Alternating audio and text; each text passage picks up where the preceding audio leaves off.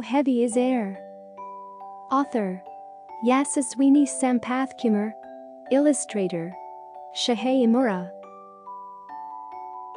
Lakshmi's palms were raw from the weight of the bag she carried. One bag had half a kilo of potatoes, and the other, half a kilo of tomatoes and a sliver of ash gourd. And home was still half a kilometer away. She put the bags down by a shop front to rest. A balloon seller was walking by, shouting, Balloony color color balloony. How easily he carried the lot. If only her bags were full of air. Then Lakshmi thought back to her science class. That afternoon, Ammu Miss had said air had weight. One cubic meter of air weighs 1.2 kilograms she had said. One cubic meter is the volume of a cube that measures 100 centimeters x 100 centimeters x 100 centimeters. That seemed like a lot nearly as heavy as her two bags. If air had weight, wouldn't she feel it? When she got home, Lakshmi decided to find out. Gowri, her little sister, could help her. Lakshmi pulled out 12 sticks from the new broom by the kitchen sink. Using a ruler, she made sure each one was 100 centimeters long and she stuck them to make a cube. Lakshmi and Gowri used the cube as a frame and taped up old newspaper till all its sides were covered. Now, this should have 1.2 kilograms of air. Lakshmi thought. Then she lay down under it to check if she could feel its weight. She couldn't feel a thing. But when Gowri put the vegetable bags on Lakshmi's chest, she could feel them pressing down on her. Next, Lakshmi blew a balloon and dropped it. If air did have weight, a full balloon should fall faster than an empty one, right? But the balloon didn't fall at all. It floated away. Lakshmi ran behind it she took the balloon along to the primary health center. While Gowri was getting a vaccination, Lakshmi stood on the weighing scale in the doctor's office. She weighed 19 kilograms. Then she carefully put the balloon on the machine. The needle didn't move. Air has no weight, Miss she declared in class the next day. You can't feel its weight. You can feel air when it moves said the teacher, puffing away a strand of hair from her forehead. She pointed towards the leaves dancing in the wind and the grey clouds hiding the sun. And air moves things.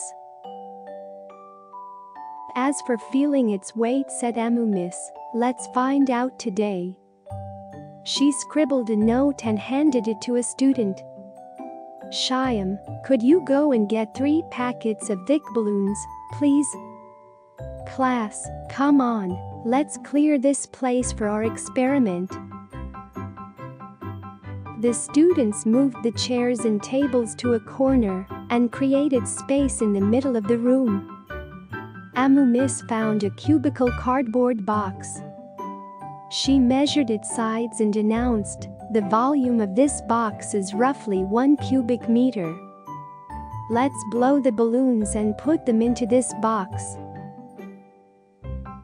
The students huffed and puffed and scrunched their faces and twisted the balloons for half an hour. Some balloons floated away. Some balloons slowly lost air. Fat. Some balloons burst Amumi stood by the box and watched the students fill it up with the inflated balloons. Once the box was full, she tied the balloons together with a string to make a giant ball. Carrying this, the students trooped to the principal's office, where the weighing machine was. Lakshmi stood on it she still weighed 19 kilograms. As she struggled to hold the giant lobe Ammu Miss gave her, the class looked closely at the number below. Did the needle twitch? Yes, it looked like it had moved a little beyond 19 kilograms. Dot. The weight of air can vary a little from place to place. The rubber of the balloon has some weight too. Why do you think the needle moved so little? Do you think the air outside pushing back on the balloon had anything to do with it? Ammu mistook a pin and poked five of the balloons. Lakshmi was startled, but soon began to laugh. The class cheered as Ammu Miss burst the rest of the balloons. When she finished, the needle on the weighing machine had moved back a little. Lakshmi was happy. It had been proved in class today that air did have weight. Before the bell rang, she had one more question.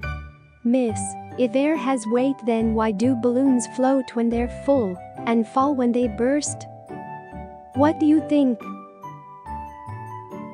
Did you know there are more air molecules around us in the atmosphere than the total number of grains of sand on all the beaches in the world?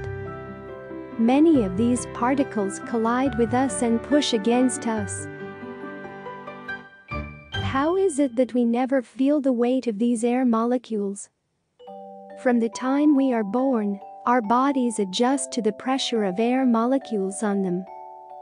Our bodies are made up of bones, muscles, fluids and a lot of air, and exert as much pressure outwards against the air molecules. This is why we do not feel the weight of air on us.